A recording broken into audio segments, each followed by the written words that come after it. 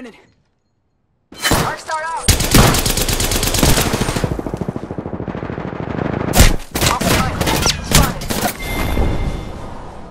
I'm sorry, but you could have killed my friends.